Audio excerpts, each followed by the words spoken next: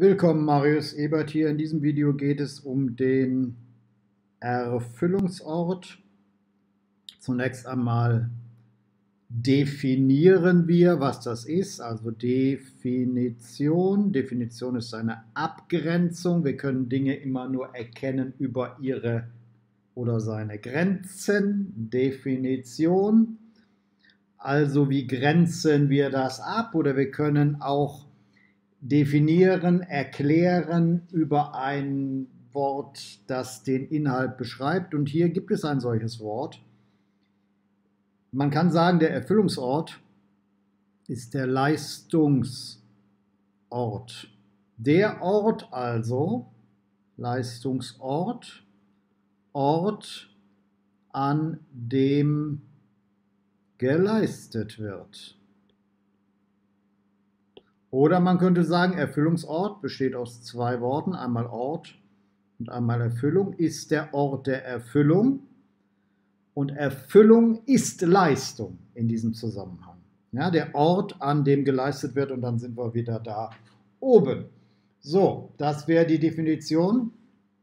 Die nächste Frage ist, gibt es denn so etwas wie eine gesetzliche Regelung? Ist gesetzlich festgelegt, wo der Erfüllungsort sein soll? Und die Antwort lautet nein. Eher im Gegenteil. Der Gesetzgeber hat die Möglichkeit, vermutlich ganz bewusst geschaffen, dass das frei im Vertrag vereinbart werden soll. Ja, frei im Vertrag vereinbar. Gibt es denn gar keine gesetzliche Regelung? Doch, es gibt eine, nämlich wenn das nicht passiert, ja, wenn also keine Regelung getroffen wurde, wenn nicht vereinbart, Komma, dann, ja, wenn also keine vertragliche Regelung gefunden wurde, dann ist es, ist der Erfüllungsort der Wohnsitz des Schuldners. Und zwar der Wohnsitz des Schuldners zu dem Zeitpunkt, als die Schuld entstanden ist. Ja, das heißt, wenn der Schuldner umzieht, ist trotzdem der Wohnsitz relevant, den der Schuldner hatte, als die Schuld entstanden. Damit sind wir schon beim nächsten Punkt, nämlich warum ist das wichtig mit dem Erfüllungsort? Was ist also die Bedeutung dieses Erfüllungsortes? Warum muss auch der Wirtschaftsfachwirt, der Betriebswirt, warum muss man mit diesem Begriff umgehen können? Und es sind im Prinzip zwei Dinge, die hier wichtig sind. Einmal ist es die Sache mit dem Gefahrenübergang, gehe ich gleich darauf ein. Und das zweite ist die gesetzliche oder gerichtliche, muss man besser sagen. Die gerichtliche Zuständigkeit. Welches Gericht ist zuständig? Und damit, das verbindet sich jetzt hiermit, ja, gerichtliche Zuständigkeit gilt am Wohnsitz des Schuldners zum Zeitpunkt, ja, zum Zeitpunkt, als die Schuld entstanden ist. Das schreibe ich jetzt nicht mehr alles hin. Ne? Da ist das zuständige Gericht. Es kann also tatsächlich sein, dass der Schuldner heute ganz woanders wohnt und trotzdem aber ein Gericht zuständig ist, das Gericht zuständig ist am Wohnort des Schuldners, Schuldners zu dem Zeitpunkt, als die Schuld entstanden ist. Und das Zweite, ich hatte es schon kurz erwähnt, ist der Gefahrenübergang. Der Gefahrenübergang, wann hat der Schuldner seine Schuld erfüllt und trägt auch die Gefahr nicht mehr, die Gefahr des Transports, wo ja eine Menge passieren kann. Wann ist, geht die Gefahr über oder zunächst mal von wem geht sie über? Gefahrenübergang vom Verkäufer auf den Käufer. Der Verkäufer ist in dem Fall der, der die Ware schuldet und die Gefahr geht am Erfüllungsort auf den Käufer über. Ja, dafür ist der Erfüllungsort auch wichtig. Also gerichtliche Zuständigkeit und Gefahrenübergang kann man im Prinzip sagen, sind die beiden Punkte, warum der Erfüllungsort wichtig ist. So, das war ein recht kurzes Video. Ich möchte deswegen im Abspann dieses Videos noch einmal den Weg des leichten und schnellen Lernens erläutern und warum das mit meiner Methode so gut funktioniert. Alles Gute, Marius Ebert. Wie kann man mit meiner Methode so schnell lernen? Mein Name ist Marius Ebert und ich gebe Ihnen eine Erklärung. Nehmen wir an, hier ist die Prüfung P, die Sie anstreben. Und Sie befinden sich auf diesem Weg zu dieser Prüfung P. Diese Prüfung P bezieht sich auf einen Abschluss vor der Industrie- und Handelskammer. Dann müssen Sie auf diesem Weg dahin, also sozusagen vorher, links von dieser gestrichelten Linie, ein paar Arbeiten bewältigen, zwingend. Und diese Arbeiten heißen S, S, L. Was heißt das? Das Erste, was Sie tun müssen, Sie müssen den Lernstoff selektieren. Sie müssen also nach dem Kriterium der Relevanz auswählen, was aus der ganzen Fülle, die Sie in der Regel bekommen, Sie bekommen in der Regel in einem Lehrinstitut nicht zu wenig, sie bekommen zu viel. Sie werden zugemüllt mit Kopien aus Büchern und noch mehr Kopien und noch mehr Skripten. Sie müssen selektieren, was wirklich relevant ist.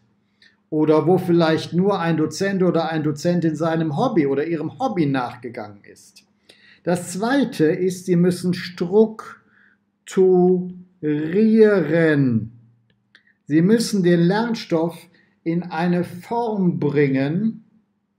Was sind Grundgedanken? Was sind Details? Was sind weitere Details? Ja, das typische Vorgehen eines Anfängers ist, dass er sich an irgendwelche Details klammert, weil er sich diese Details genau, genau vorstellen kann. Das heißt, der beschäftigt sich mit den Maserungen eines Blattes, hat aber keine Ahnung, zu welchem Zweig dieses Blatt gehört, weiß nicht, dass der Zweig zu einem Ast gehört, weiß nicht, dass der Ast zu einem Stamm führt und dass der Stamm eine, zwei oder drei Wurzeln hat. Strukturierung bedeutet, die Baumstruktur, die eine gute Struktur ist, um Lernstoff abzubilden, abzubilden. Ja, den Lernstoff also in diese Struktur zu bringen wie ein Baum. Was ist Wurzel? Was ist Stamm? Was sind Zweige? Was sind Äste und was sind dann kleinere Äste und was sind dann Blätter. Ja, dies, das bedeutet strukturieren. Und das dritte ist das eigentliche Lernen. Und das eigentliche Lernen besteht aus drei Schritten, die heißen verstehen, vertiefen, verwenden. Verwenden, fangen wir mal hinten an, verwenden ist das Aktivieren in der Prüfung. Verwenden heißt aktivieren, heißt umsetzen in Punkte. Denn diese Prüfung ist eine handlungsorientierte Prüfung, die man nicht im Reproduktionsmodus äh, bewältigen kann. Das heißt, es ist nicht so, dass man ein Gedicht auswendig lernt und in der Prüfung schriftlich oder mündlich sein Gedicht aufsagt, sondern man muss praktische Situationen mit seinem Wissen bewältigen. Und das ist dieses dritte V, das Verwenden heißt Anwenden, heißt Umsetzen in Punkte. Das erste V hier oben ist das Verstehen. Wenn man vorher strukturiert hat, ist das Verstehen schon erheblich einfacher. Dann weiß man nämlich, man ist hier, man ist in den Maserungen eines Blattes Oder man ist hier am Stamm des Baumes oder man ist hier an der Wurzel. Ja, schon das ist wichtig für das Verstehen, um die Zusammenhänge und die Auswirkungen zu sehen, verstehen. Das zweite ist das Vertiefen. Vertiefen bedeutet überführen in unser Langzeitgedächtnis. Und das dritte, das Verwenden, ist das Aktivieren für die Prüfung. So. Normalerweise müssen Sie auf dem Weg zur Prüfung alle drei Schritte bewältigen. Sie bekommen in einem Fernlehrgangsinstitut oder in einem Präsenzseminar zu viel Material. Nicht zu wenig, zu viel. Sie müssen also selektieren, dann müssen Sie strukturieren. Ja, aber die Dozenten, die haben das doch hoffentlich. Nein, haben sie nicht. Der eine hat ein Skript, der andere hat Folien, der dritte hat gar nichts. Alles passt nicht zueinander, ist nicht aufeinander abgestimmt. Das heißt, Sie müssen selber die Strukturierungsarbeit leisten. Und danach müssen Sie noch lernen, das heißt, diese drei Schritte durchlaufen, verstehen, was Ihnen normalerweise schwerfällt, wenn Sie ein Präsenzseminar oder einen Fernlehrgang besuchen, weil Sie unstrukturiertes und unselektiertes Lernmaterial vor sich haben, aber Sie müssen verstehen, Sie müssen vertiefen und Sie müssen auch das Verwenden, das Aktivieren üben. Der eine muss hier mehr üben, der andere weniger, um P, die Prüfung, schriftlich und mündlich, in der Regel ist eine schriftliche Prüfung und auch irgendwo eine mündliche Prüfung, zu bewältigen. Warum ist Marius Ebert mit seiner Methode seit 25 Jahren deutlich schneller als alle anderen, beziehungsweise die Leute, die mit seiner Methode arbeiten? Eine wesentliche Antwort, die ich hier geben kann, ist, diese beiden Schritte, selektieren und strukturieren, habe ich für Sie gemacht und anderswo wird es nicht gemacht. Und das kann ich grundsätzlich durch die Bank für fast alles sagen, was dort am Markt an Angebot sich befindet.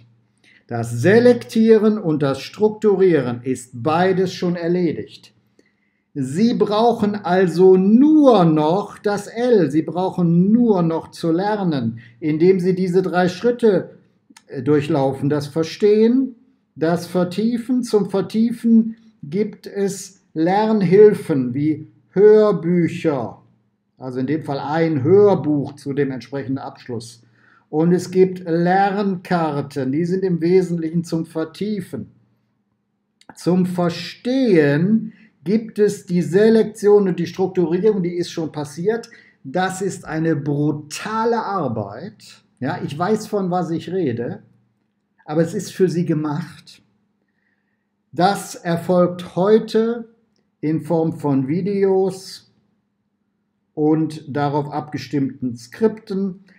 Alles aus einer Hand, nämlich aus meiner, alles aufeinander abgestimmt. Wiederholungen an der Stelle, wo es nötig ist und nicht, weil zufällig zwei Dozenten sich überhaupt nicht aufeinander abgestimmt haben. Ja, normalerweise im Präsenzseminar hören Sie manche Sachen dreimal und manche Sachen gar nicht, weil niemand diese sechs, sieben Dozenten, die sich in so einem Lehrgang befinden, koordiniert. Eine Koordination findet nicht statt. Hier bei mir findet eine solche Koordination statt. Und der Lernende leidet, wenn er diese Koordination nicht hat. Deswegen nenne ich das, was ich hier mache, auch Lernen ohne Leiden. Ja, weil Sie hier anfangen können, Sie können hier einsteigen. Sie müssen das nur noch lernen. Wenn wir sagen, das sind hier zwei Drittel, das ist hier ein Drittel, auch vom Zeitaufwand, vom Energieaufwand ist es hier bei den zwei Dritteln sogar noch mehr. Kostet viel, viel mehr Energie, als einen vorbereiteten Weg zu gehen, wo einem jemand ganz klar zeigt, wir sind hier an der Wurzel, aus der Wurzel ist dieser Stamm entstanden, dann hatten wir hier verschiedene äh, Zweige, dann haben wir Äste, dann haben wir hier Blätter. Ja, das passiert in den Videos und in den entsprechenden Begleitskripten. Diese ein Drittel sind von der Energie, vom, vom Kraftaufwand sehr viel weniger als hier das Selektieren und das Strukturieren. Und das ist die plausibelste für den externen, für den Nicht-Fachmann, der sich nicht mit Gedächtnis und Lernen und Bewusstsein und diesen Themen seit, wie ich das mache, seit mindestens 30 Jahren beschäftigt, die einleuchtendste und plausibelste Erklärung, die ich geben kann, warum das bei mir so schnell funktioniert und warum es im Umkehrschluss anderswo im Präsenzseminar oder im Fernlehrgang immer Leiden bedeutet. Und hier das Ganze ein schneller Weg ist, Lernen ohne Leiden.